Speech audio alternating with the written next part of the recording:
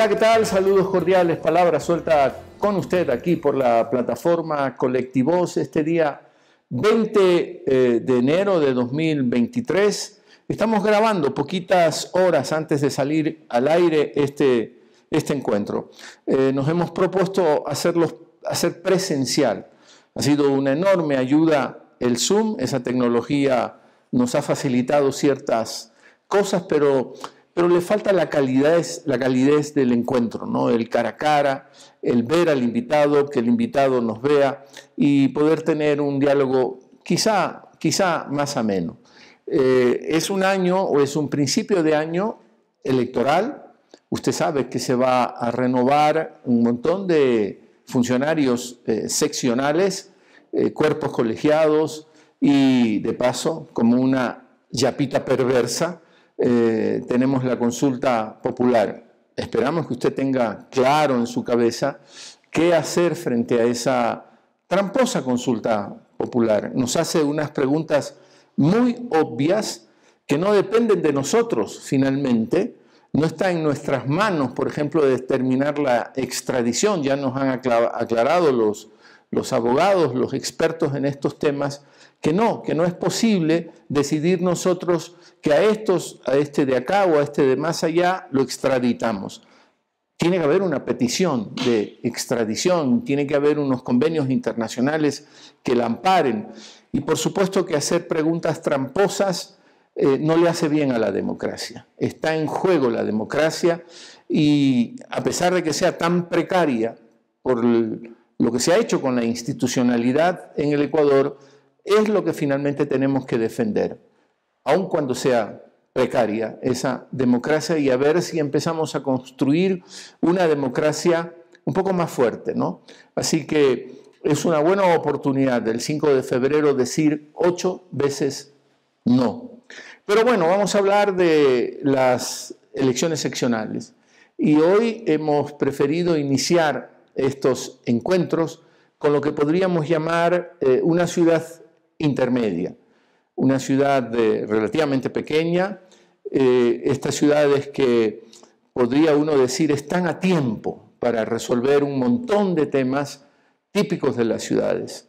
Eh, movilidad, por ejemplo, ¿no? que tienen estrangulado, eh, estranguladas a ciudades como Quito, Guayaquil, la misma cuenca no ha logrado resolver de manera masiva el tema de la movilidad y es una clave muy importante en la cotidianidad nuestra. Así que esas ciudades intermedias están a tiempo. Fausto Jarrín con nosotros. Fausto Jarrín es eh, de Cayambe.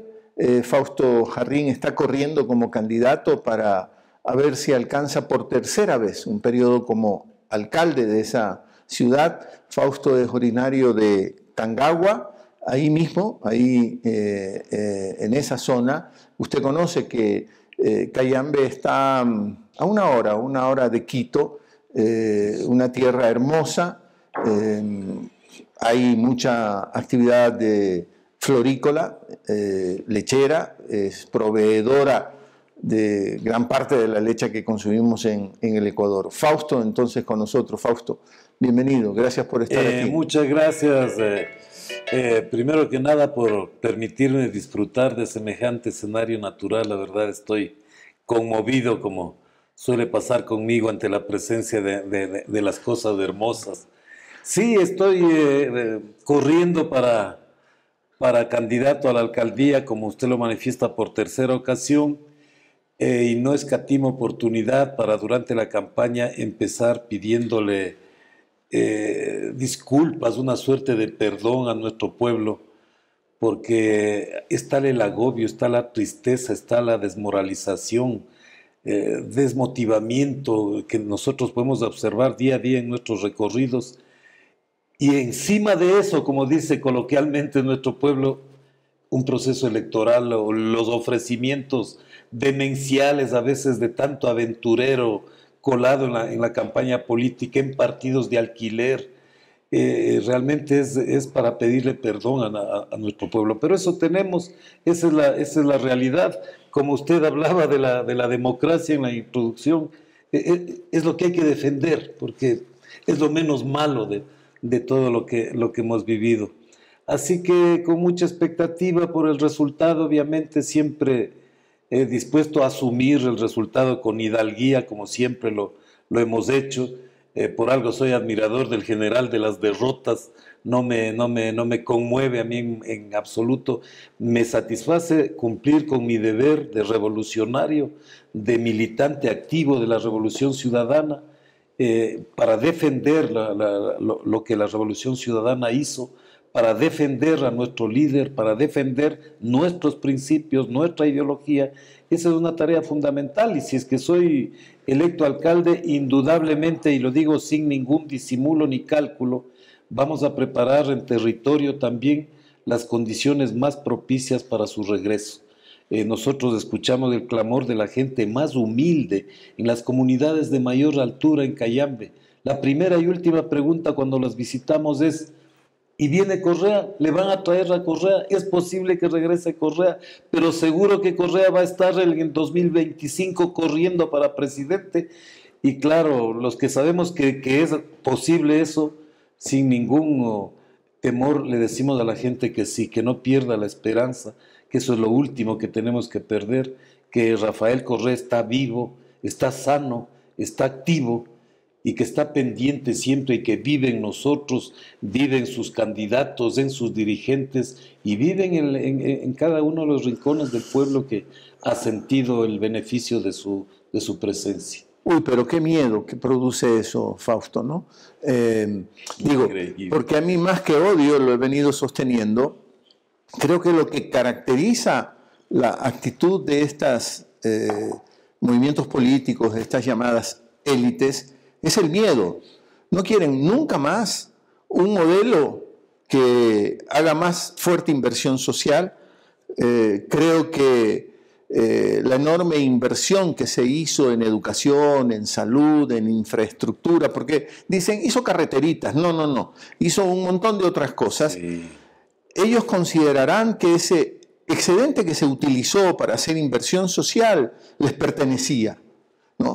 Y no quieren un gobierno que privilegie eso porque a pesar de lo que ya tienen, lo que han acumulado, que no les llega, no les alcanza la vida para gastar tanta cuestión acumulada, no quieren un gobierno de ese corte. Y no solo en el Ecuador, en la región, en América Latina, se desesperan. Mira a Brasil, de lo que ha sido, han sido capaces los seguidores de Bolsonaro.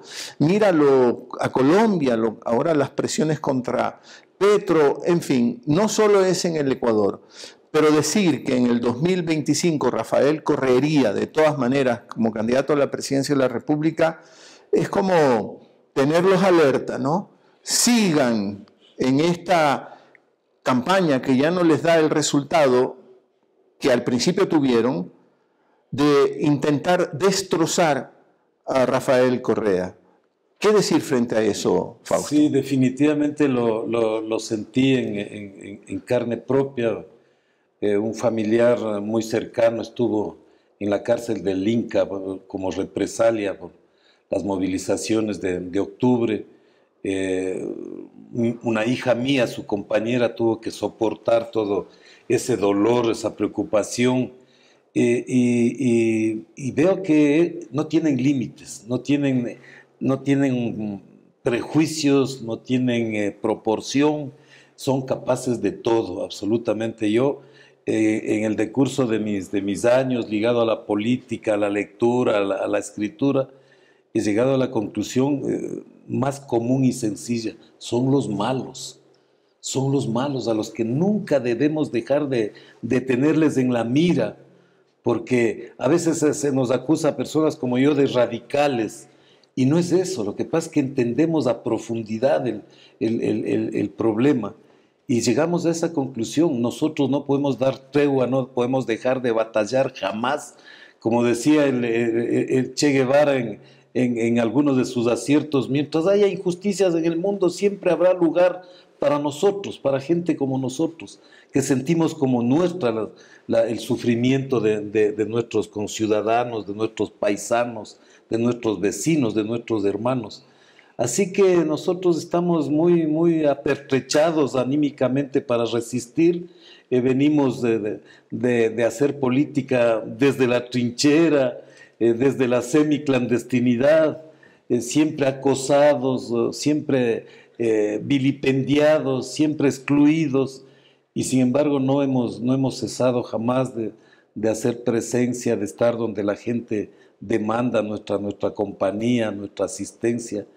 Y, hay mucha gente así, por suerte, en el, en, el, correísmo. Hay de los otros también, pero repito, es lo que tenemos. Eh, hay, hay infiltraciones, hay oportunismos, pero eso no le quita la esencia, que, es, que es un movimiento realmente que, le conviene al, al, presente y al futuro del país. Solo para dejar atrás un poco este tema, porque también nos han convocado para el llamada, la llamada consulta popular. Ocho preguntas en donde queda claro ¿no? que, que, la clave es la pregunta número 5, ¿no? porque lo que, de lo que se trata es que no se muevan a los funcionarios de control, el Consejo de Participación Ciudadana y Control Social, para que estos funcionarios de control que no han hecho nada, ¿no? Contraloría, Procuraduría, Fiscalía, no sean topados y acompañen al, al, actual régimen hasta el final de su periodo.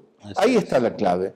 Esa es la clave, porque si llegas a tener control desde la oposición de eh, estos temas, es un problema enorme para el actual gobierno. Así que todo lo demás es puro relleno, todo lo demás es pura demagogia y a la gente hay que plantearle no se rompa tanto la cabeza.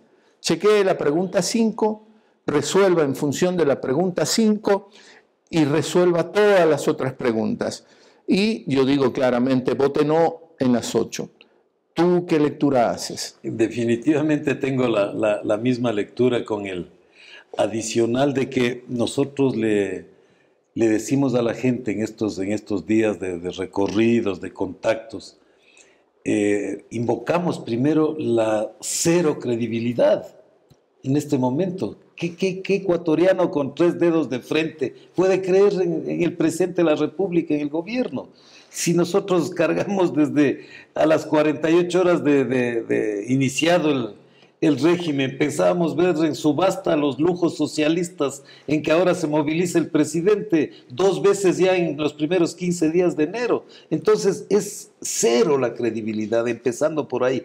Y lo otro, lo más, lo más cercano a nosotros, que es Colombia. Colombia tiene una ley de extradición vigente desde hace décadas. ¿Y de qué le ha servido? Nos preguntamos. ¿De qué le ha servido las ocho bases militares instaladas por, por por los gringos en, Colombia. México ha extraditado no solo al Chapo, que es lo mediático, miles de, narcotraficantes. ¿Qué ha pasado? Ah, se ha solucionado el problema de, las drogas, el problema de la juventud, el problema de la violencia, el de sangre, Colombia y México. Regla de oro del propio capitalismo es no hay oferta sin demanda. Exactamente, exactamente. Y el problema está en los grandes centros de consumo, que son los países llamados del primer mundo. Por eso los colombianos con muy buen humor dicen, mientras nosotros sigamos poniendo los muertos y ellos la nariz, las, cosas siguen.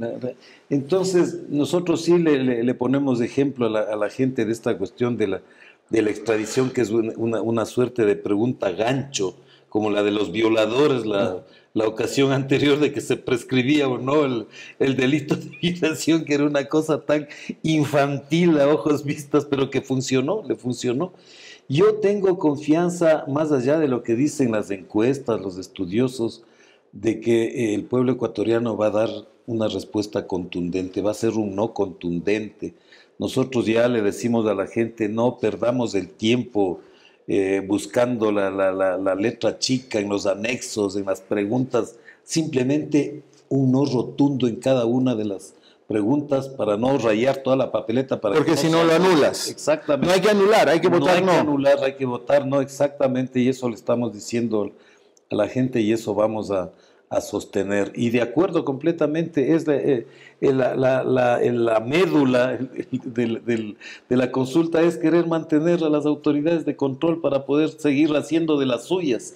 Entonces estamos muy, muy, muy claros en, la Revolución Ciudadana, muy claros los candidatos que estamos ya sumando a nuestras ofertas electorales, a nuestros planes de trabajo, eh, la prédica, el pedido a nuestros electores de que voten unos rotundos. Ahora, metámonos en Cayambe, tu ciudad. Yo empecé presentándola como una ciudad de tamaño medio que tendrá 100.000 habitantes y, y, y, para mí ese tipo de ciudades podrían mandar un, un mensaje mucho más potente, esperanzador al Ecuador, porque eh, sostengo que ciudades como Quito, Guayaquil, incluida Cuenca, que es una ciudad de 600.000 habitantes, no han podido resolver temas claves eh, para las ciudades, la movilidad, por ejemplo, la seguridad. Una ciudad como la tuya estaría a tiempo para construir modelos que se puedan poner en marcha en otras ciudades y empezar a resolver esos temas que tanto nos agobian, ¿no? Eh, ¿Tú cómo lo ves? ¿Cómo, sueñas a Cayambe? Sí, eh, eh, primero hay que, hay que resaltar de que definitivamente ese territorio constituye una zona privilegiada del país. No es solamente la, localización geográfica, que es el paralelo cero, es la única montaña en el planeta que es atravesada por la línea imaginaria eh, sino que el ser parte constitutiva de, una, de un parque nacional que es el Cayambe Coca, eh, le da un potencial pero inmenso, eh, incalculable. Cayambe tiene un nivel freático, pero el agua está casi a flor de tierra. Por eso es tierra lechera, ¿no? Lechera, florícola, porque es tan fértil el suelo. Es, es donde se hace un hueco brota agua hay miles de lagos en la reserva, fuentes, pogios, como dice nuestro pueblo. ¿Cómo? Ojos de agua, pogios con G. Ajá. Sí, es, es el, cuando brota de, de, de, de adentro, la tierra. Aguas de una, de una, de una pureza. Eh, y todo eso ha sido la base para que una, una agricultura de consumo, de autoconsumo, una soberanía alimentaria, como se llama en la nueva constitución de Montecristi, eh, progrese la agricultura, o sea, se mantenga la agricultura. Ahora, Fausto, cultivos. perdona las interrupciones. eh, también advertí que era, vas por tu tercer periodo, has sido ya dos veces alcalde de, Así de Cayambe. Ahí, sobre todo, pienso en los jóvenes, hombres y mujeres. Eh, y toda esta consigna primaria, básica de ellos y de ellas, que es la conservación de la naturaleza. Y frente a esa conservación de la naturaleza, el cambio climático, la desesperación porque tenemos que parar ahora, porque si no va a ser muy tarde, la actividad, la actividad florícola les preocupa mucho por el alto nivel de contaminación que produce esa actividad. Las aguas se contaminan mucho. ¿Qué decir frente a eso? Sí, eh, justamente ayer tuve un encuentro con sector florícola y, sector ganadero. Y hablamos mucho sobre, sobre estos temas y recordamos sobre todo cómo eh, en el año 2000, eh, en esos años, en la década del, del 2000 que yo estuve en, la, en, mi segundo periodo como alcalde en Cayambe, eh, nosotros tuvimos que hacer una definición dolorosa, si cabe, si cabe la palabra. Ajá. Mis amigos, es compañeros de colegio, de universidad, de la escuela de periodismo. Eh, Eres periodista, ¿no? Eh, supuestamente. Soy escritor realmente, sí, es lo que, es lo que hago la, la, mayor parte del tiempo de mi vida. Y me decían, cuidado, gente ligada a Fundación Natura, la, algunas ONGs extranjeras, cuidado, Fausto, te, se te van a meter los... ¿no? En esos años había tal desesperación en la gente, en la juventud de Cayambe por encontrar un trabajo, especialmente en los sectores populares, la descomposición de la hacienda, todos esos, esos asuntos de, análisis sociológico, habían eh, determinado el aparecimiento de una vasta capa de población juvenil especialmente, que se veía obligada a salir a la ciudad de albañil, de peón, de doméstica de las casas, pero verdaderas legiones se movilizaban. De la desocupación allá. era muy alta. Sí, y entonces yo tuve que, que, que, que jugarme y con las advertencias del caso, eh, determinar de que no había peor contaminación en ese momento que la desocupación. Todo, todo el, mal psíquico que a nivel social acarrea la desocupación es, tremendo. Por eso es caldo de violencia para el cultivo. Estamos constatando en estos últimos meses y años en el país. Lo que sí logramos es, en base a discusión, en base a diálogo y a veces en base a presión, de que se haga lo menos posible el, daño, el impacto ambiental, de que se usen eh, eh, insumos eh, amigables con el ambiente. Las mejores tecnologías. Las mejores tecnologías del mundo están en este momento, casi todas tienen sellos ISO, sellos de excelencia, sellos verdes, han, avanzado. Y yo creo que tuve un, pequeño papel, un pequeñísimo, gran papel en, la, adopción de este tipo de conducta de parte de los, de los, de los inversionistas. Yo siempre mantuve el tema como principal bandera, el tema ecológico, luego el respeto a nuestras normas laborales, al, trabajador. y el resto era inevitable, la, dinámica que se generó en Cayambe, la, generación de nuevos puestos de trabajo, de nuevas actividades, porque esto de la inversión florícola fue un detonante nada más para que nuevas cooperativas de taxis, operadoras de transportes, hotelería. ¿Y, ¿y qué pasó con el empleo? Dieron empleo.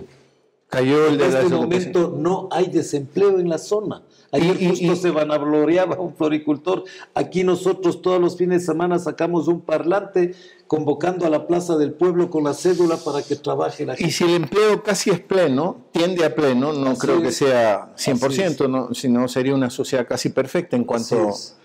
Pero si el empleo, si el desempleo más bien tiende a cero, ¿qué pasa con la seguridad ciudadana? Ahí podemos hacer una ecuación. Definitivamente, y es la prueba de que el desempleo es el caldo de cultivo para... Entonces, hay brotes de violencia, pero absolutamente marginal. No es una sociedad violenta, Cayambe.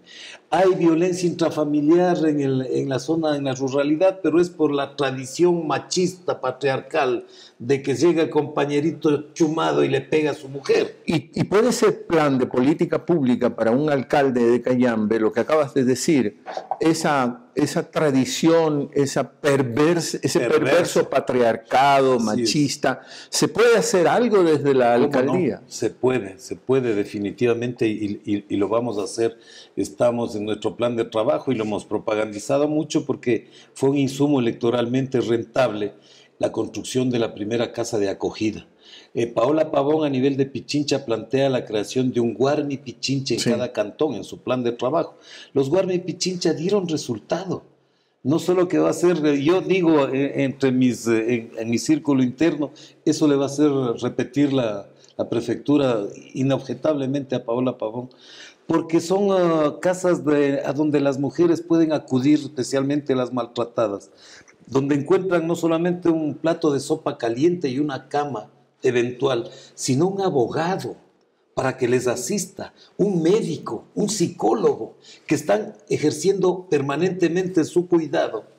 Y entonces yo quiero construir una casa de acogida en Cayambe y le propuse ya a, Paola, que lo digo así porque es mi compañera, nos conocemos años, de que repotenciemos, o sea, unamos lo que va a presupuestar para el, el Guarni Pichincha y lo que yo voy a presupuestar para la casa de acogida y hagamos un centro modelo, ¿no? En donde no solamente se, se atienda a la mujer maltratada, sino a otros sectores vulnerables. Pero, Fausto, dime una cosa, y, en Cayambe entonces, la hacienda y las relaciones que la hacienda ha generado históricamente, ¿no? Casi eh, sociedades entre amo y esclavo, señor y siervo, donde incluso las relaciones del temprano capitalismo no se dieron, porque la, relación salario no se conocía. Feudalismo puro, sí. Exacto, feudalismo puro.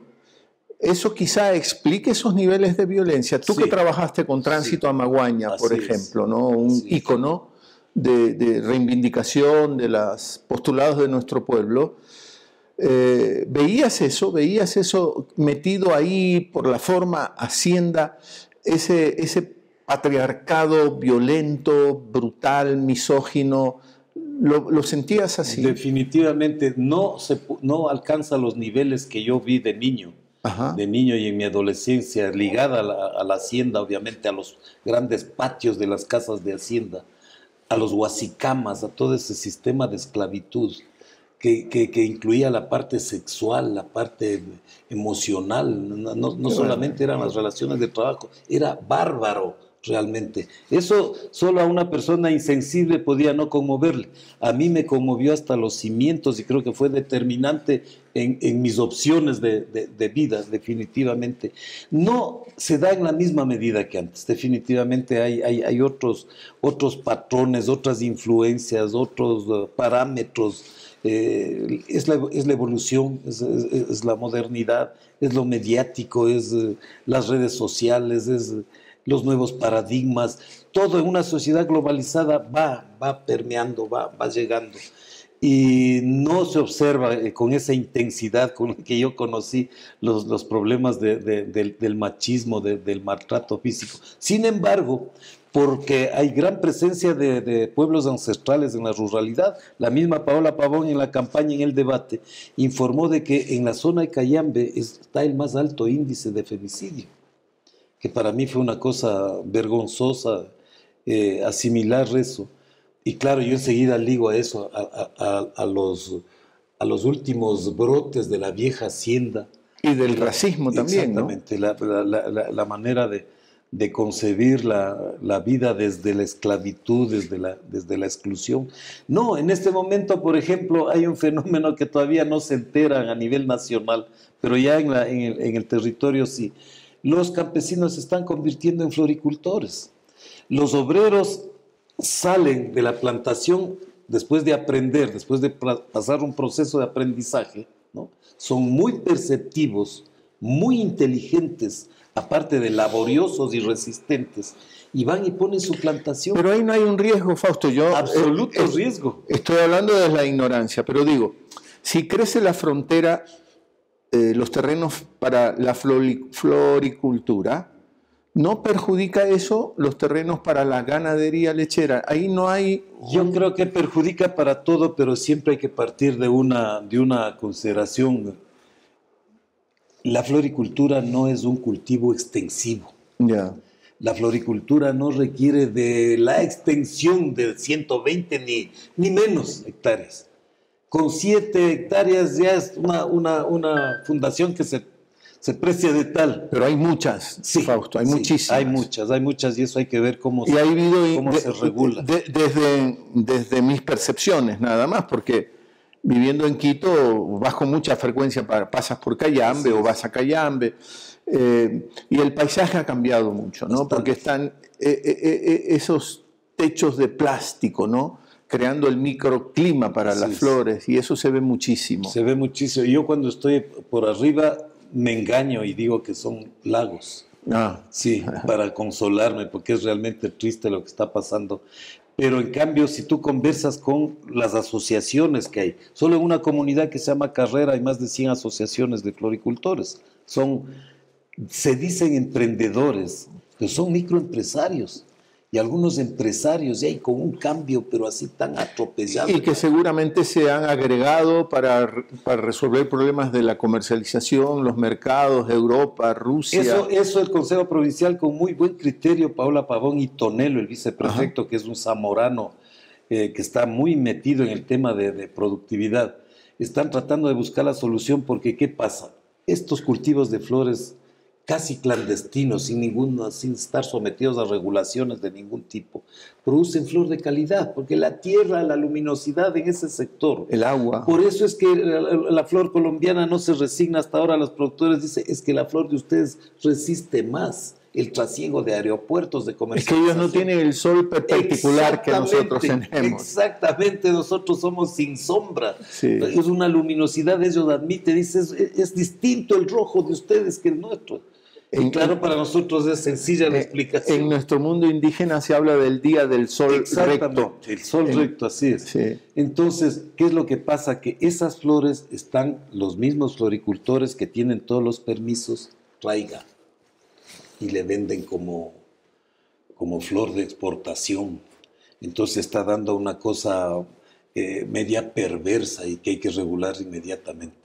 Ayer le escuché a Tonelo en este, en este encuentro que tuvimos al viceprefecto que hablaba de fincas que ya de manera abierta y legal dicen, sí, podemos comprar esa producción. Eso es importante, porque mira, cuando un funcionario del nivel de Tonelo, viceprefecto, o la misma Paola Pavón, prefecta, tú, candidato alcalde otra vez de Cayambe, empiezan a hablar de estos temas, la gente como que se asusta, resiste. ¿Cómo resuelves ese problema político?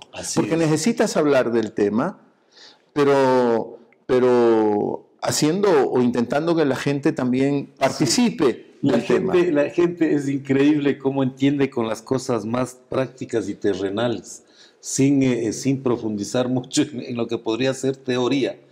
¿Qué es lo que dicen los mismos pequeños productores? Con la cebolla, nosotros teníamos esta cosecha y teníamos esta utilidad. Con las flores se quintuplica, es, poco, es poco decir. O sea, hay, hay, hay, pequeños productores que están ganando 200, 250 mil dólares al año.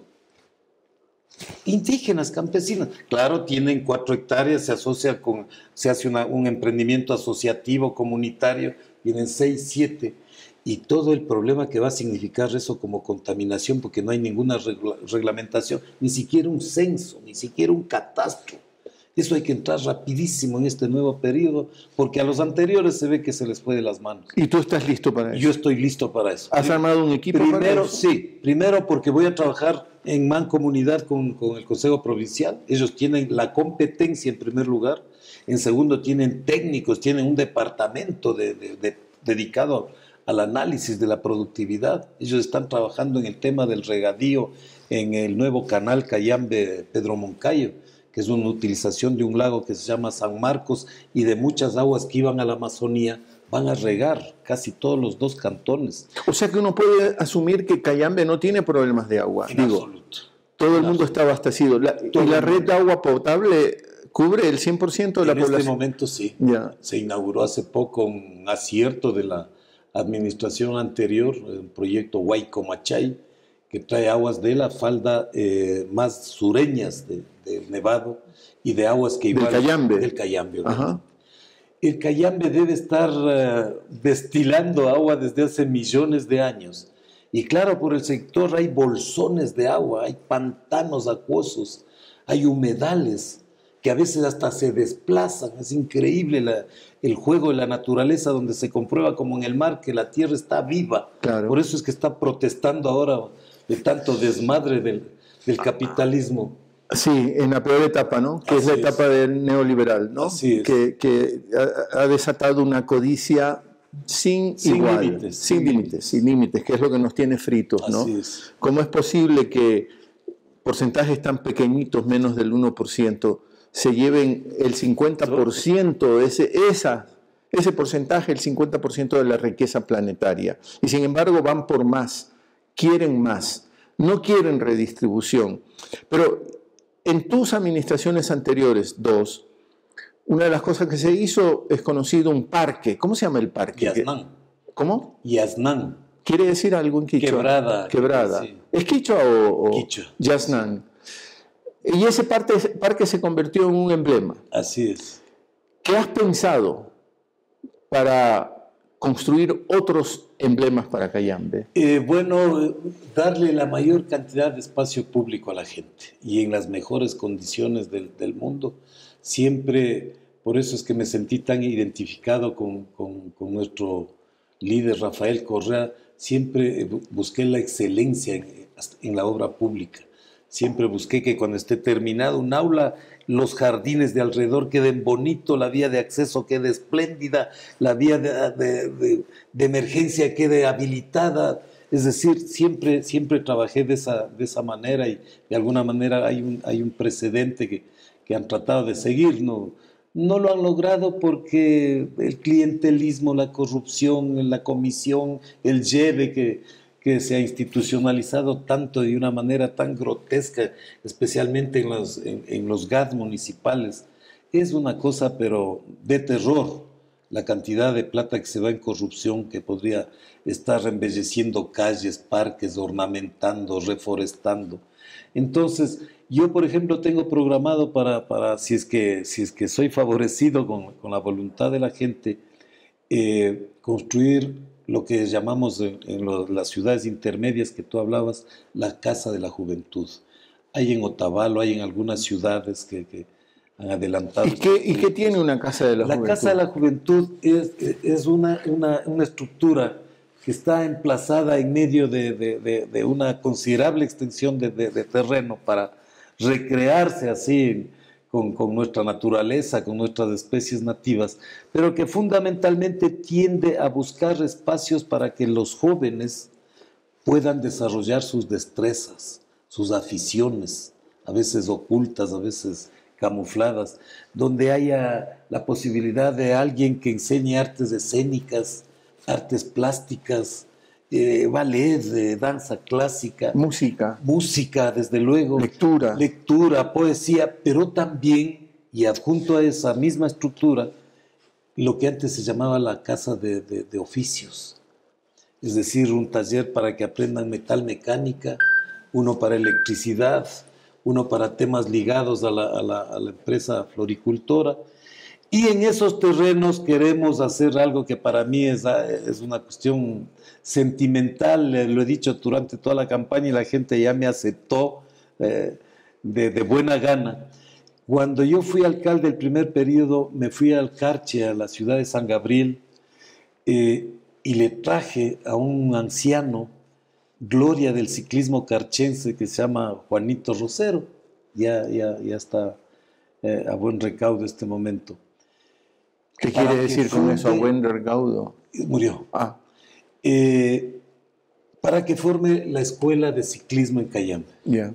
Eso fue, fue tan exitoso ese, ese, experimento que el, la práctica del ciclismo se disparó en todo el sector. Sí, pero ahí... Obviamente por la influencia del Carchi también, donde está todo el semillero ciclístico del país. La última vuelta al Ecuador, para cortarte el cuento, participaron más de 30 ciclistas cayambeños. Ah, qué bueno. Hay campeonas panamericanas. Pero ahí hay tantos temas que trabajar, eh, Fausto, porque eh, yo sigo, eh, no sé si sigas en, al noticiero de La Ventana en Radio La Calle, que también es digital, ahí hay unos compañeros, y uno de los compañeros hoy está con la clavícula rota. Ahí lo ves dando las noticias con... Sí, ¿Y por qué? Porque es ciclista. Y un auto que no lo respetó, lo atropelló, lo, lo, espergió ahí como 3, 4 metros, se le rompió la clavícula porque no hay una relación que se entienda Así es. entre estos dueños de camiones, autos, camionetas y el ciclismo. Entonces, para darle seguridad al ciclista hay que diseñar otro tipo de rutas. Bueno, primero, y, y con eso termino, yo voy a construir el velódromo para el norte del país. Ya. Yo, yo tengo la, la, tosudez de, de, pensar que el próximo Richard Carapaz va a salir de Cayambe. Y entonces, eh, eh, al comienzo les pareció una idea algo demencial porque la gente sueña muy, son muy tachos los sueños de la gente.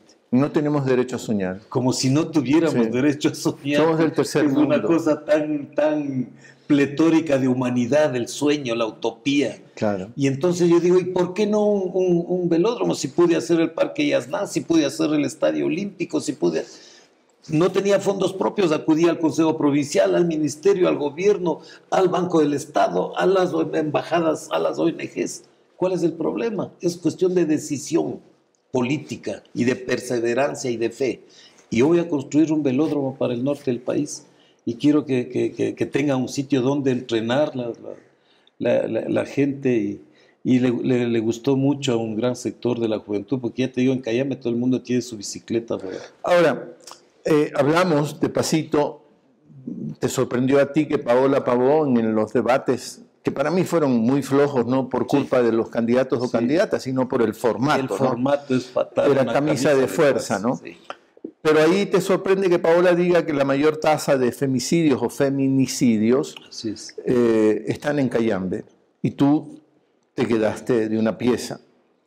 Eso se tiene que combatir, entre otras cosas, con políticas educativas. ¿Qué piensas en relación a eso? Sí, es, importantísimo educar, es importantísimo eh, y tener proyectos realmente sustentables, o sea, para que no sea una cuestión reactiva que responde a los sucesos. O eh, ha denunciado en la fiscalía el maltrato, tremendo eh, bomba, boom, pero a las semanas todo el mundo se ha olvidado y sigue la niña enferma. Entonces, muy, muy importante, o sea, tener todo un plan, eh, buscar asesoramiento efectivo de gente que conoce, que maneja este tipo de, de programaciones, de proyecciones, gente que pueda hacer un buen diagnóstico, que, que pueda elaborar buenos proyectos educativos, que pueda, que pueda trabajar en, en esos temas. Para mí va a ser una parte sustancial de, de, mi gestión eh, garantizar una suerte de amparo del Estado, en este caso del municipio, para la mujer ya maltratada y ver cómo se puede prevenir ese maltrato, para que por lo menos ya no sea Cayambe el, la estrella en, femicidios. Yo decía que eres cayambeño, está bien el gentilicio así, sí, sí, sí, sí, eh, de nación, pero sin embargo, para graduarte de colegio tuviste que venir a Quito. Y te, graduaste, Mejía. te graduaste en el Patrón Mejía. Sí. una persona como tú, pero ya del siglo XXI, ¿Tiene que moverse de Cayambe para graduarse? ¿Hay buenos colegios? Hay colegios. Ya. Hay colegios. Ya la gente ya... Antes era eh, un poco una cuestión oh, eh, social. Ajá. Yo pienso así, o sea, mi hijo no se queda a estudiar aquí.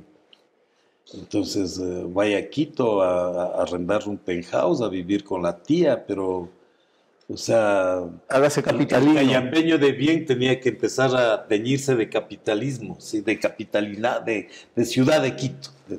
De, siempre era el, como ahora para nuestros ricos Miami, alguna cosa así, para Cayambe era Quito. Ahora es al revés, ahora los quiteños buscan ir a vivir en Cayambe porque las condiciones, como tú decías, en la ciudad son de una pésima condición. ¿Qué calidad de vida se puede hablar si pasan atornillados a un automotor media vida? Qué bestia. Qué, desazón. Yo me pongo a pensar así en términos ya existenciales y digo, qué fracaso de proyecto la ciudad. Es un fracaso. Y es, y es el acontecimiento humano quizá más importante desde el punto de vista cultural, la ciudad. Así Pero la hemos llevado al despeñadero con nuestras prácticas. ¿no?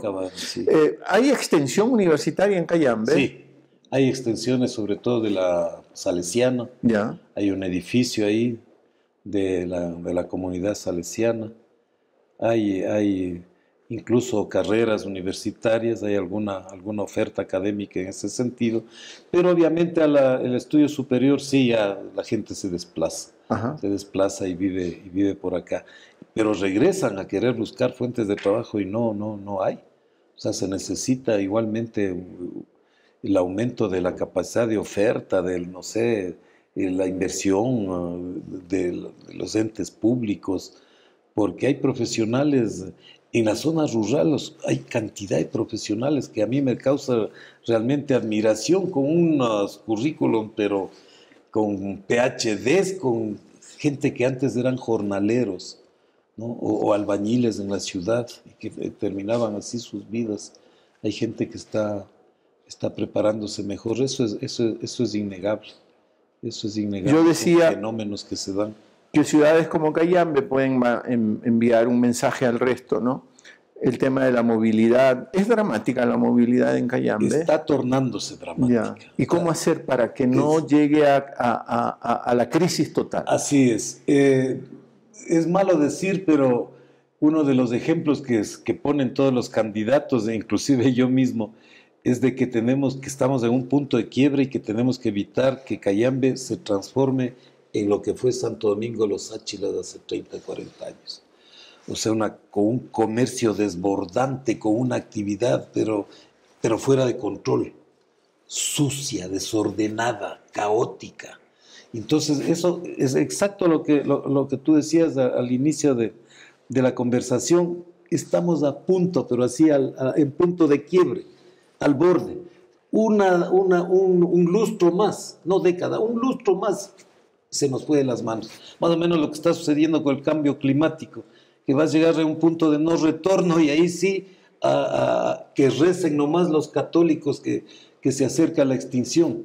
Igual pasa con las ciudades pequeñas y yo creo que, y eso es lo que, esa es parte de mi narrativa, de mi discurso, hagamos de Cayambe una ciudad modelo en dotación de servicios, en ornamentación, en belleza, en vida armoniosa de la comunidad. Estudiaste, estudiaste en la Unión, Soviética, te encuentro. En la Unión Soviética fui a hacer cursos, los consabidos cursos a que íbamos los comunistas a, las escuelas moscovitas. Yo estuve en una, escuela que se llamaba, para variar, Vladimir Ilich Lenin, en Moscú.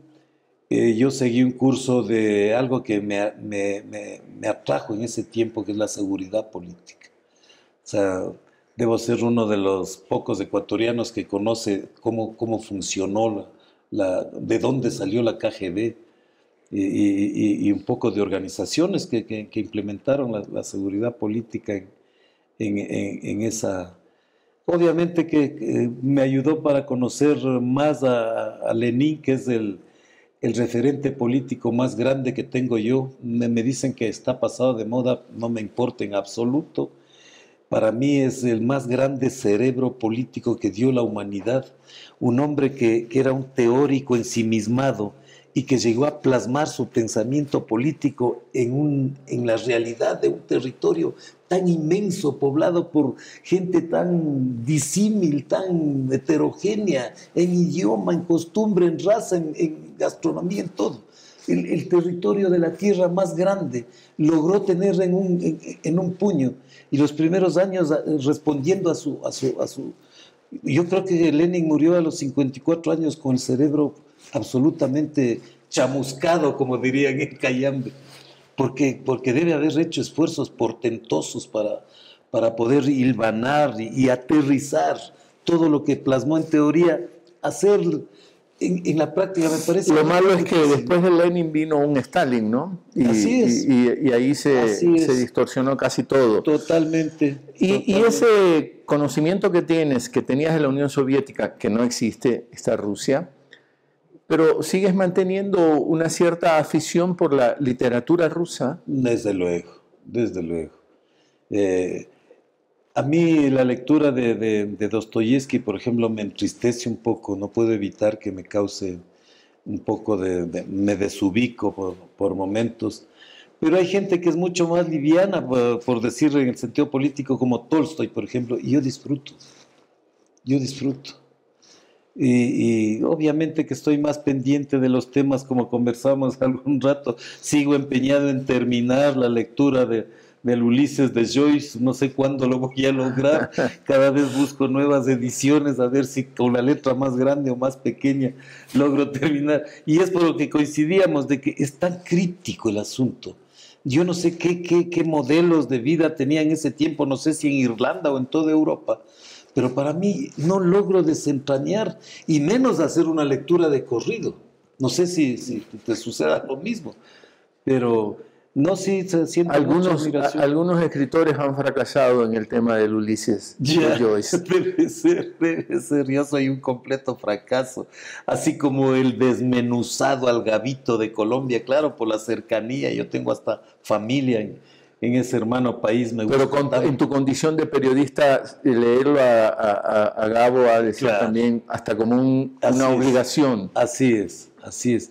Gabo, Gabo trabajó tanto ahí en el Heraldo Barranquillero, en todos los, los semanarios que, que salían ahí, tenía tanto que escribir, tanto que decir.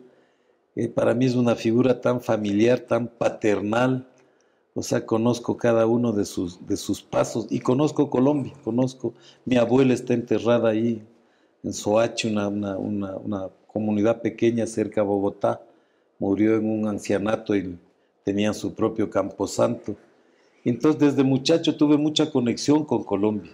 Y si de periodismo hablamos, porque tú eres periodista, Gabo, Kapuczynski, otra serie de periodistas, ¿qué opinas del periodismo hoy en Ecuador? Es una verdadera lástima, como dicen mis, mis paisanos de Cayambe. Es un, es un horror, es un horror. Ahora le escuchaba a Alexis Moncayo en la radio de la prefectura, que decía, a mí ya no me gusta el periodismo. Y tiene razón. A mí ya no me gusta, dice, yo no, no, nunca me imaginé que era esto, que estamos viviendo, que estamos es, que, es que debe, debe para él, que es un periodista de, todos los días, debe ser decepcionante ver lo baratas que se pusieron las conciencias ligadas al periodismo. Prefiere ser pianista de cabaret, ¿no? Absolutamente, y tener una, una hendidura como Agustín Lara, pero no periodista. Así es. Es la crisis total del periodismo, ¿no? Increíble lo que pasa en el país.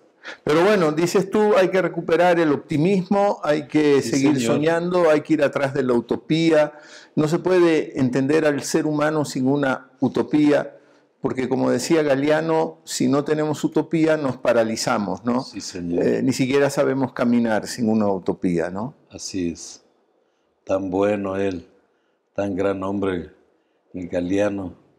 Tenemos por suerte, eh, como decía uno de mis hijos, ¿Por qué los más grandes talentos eh, del arte, de la literatura, son ligados a, la izquierda? Le, parecía de muchacho una, una, cuestión uh, provocadora y para mí era muy sencillo, por, mi propia identidad, por mi propia madera de, artista, porque, repito, yo, yo, yo, yo escribo es algo con natural a, la izquierda verdadera, a la, búsqueda de, mundo solidario. Claro, por, la, por el espíritu de contestación. Exactamente, exactamente. Entonces, a mí, para, como sinónimo de buen artista, para mí es no que sea un intelectual orgánico ni un, artista de Hollywood eh, saliendo a las calles a manifestarse cada vez y cuando, pero yo considero un requisito sine qua non en un artista verdadero el, estar emparentado con la belleza y, la belleza con la verdad. O sea, son cosas dialécticamente entrelazadas para mí. Entonces, para ser artista verdadero, yo empiezo por ver cuál es su filiación política o su inclinación.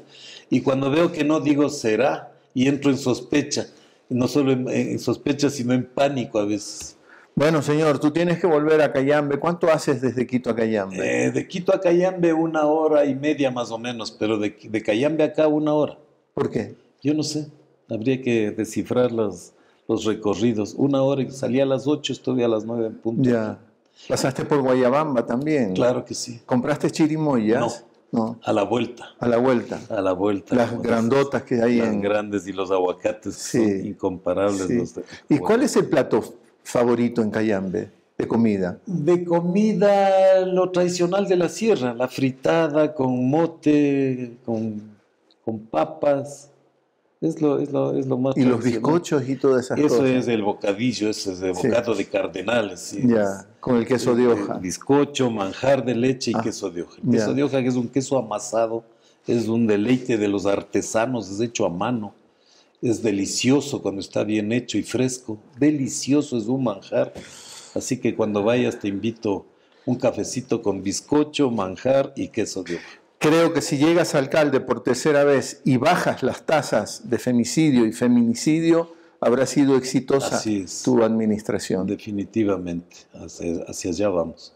Muchas gracias, Fausto. A ti. Por haber estado aquí con nosotros. En... Para las que sean, aquí estamos. Fausto, Fausto Jarrín, en, no sé, aquí o acá, acá. Fausto Jarrín, en esta entrega de Palabra Suelta, este día viernes 20 de enero de 2023 y a propósito de esto a lo que hemos sido convocados, 5 de febrero. Eh, elección mm, de buena cantidad de casi todos, todos. Los, alcaldes de los distintos cantones, 220 eh, más de 220 cantones, y de Yapa, decíamos también al principio, la, eh, la consulta popular. Consulta popular frente a la que nosotros esperamos, lo digo sin ambajes, sin ocultar nada, esa cuestión de la imparcialidad del periodismo es una farsa, es una absoluta farsa. Eh, me imagino que usted ya sabrá qué hacer. Y lo único que cabe hacer es no porque esta consulta tiene escondida una serie de trampas. Nos vamos a usted, siempre le agradecemos la compañía, pásela bien.